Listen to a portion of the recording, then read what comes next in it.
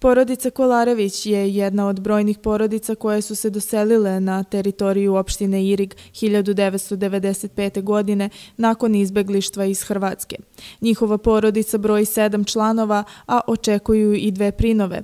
Kako kažu, kuća u kojoj trenutno žive nema dovoljno prostora, a pomoć koja će im biti pružena mnogo im znači. Nemam baš dosta prostora. Sredstva koja ćemo dobiti od opštine ćemo iskoristiti da renoviramo kuću ovo koju ćemo dobiti. Svetlanina Svekrva kaže da će ova pomoć najviše značiti deci, a kako dodaje, veoma su zahvalni opštini Irig što su prepoznali njihov problem i što im izlaze u susret pri rešavanju stambenog pitanja.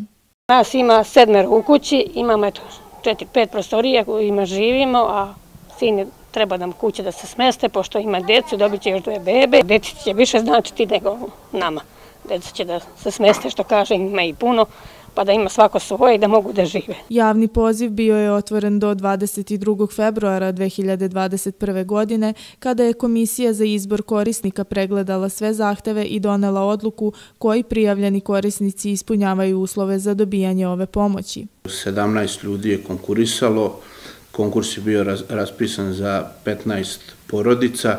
Ovaj, ono što smo mi kao opština uradili je to je da ćemo da proširimo na ove dve porodice, tako da će svih 17 porodica koje su konkurisale na, na ovom programu za izbjegla i raseljena lica dobiti, ovaj, dobiti sredstva za kupovinu kuće e, u iznosu od 9.500 evra i u iznosu od 1.500 evra svaka porodica će dobiti za kupovinu materijala. Predviđena pomoć kupovine kuće sa okućnicom koje ispunjavaju sve uslove za normalan i funkcionalan život, kao i dodele pakete pomoći za 15 porodica, očekuje se u svim naseljenim mestima opštine Irig.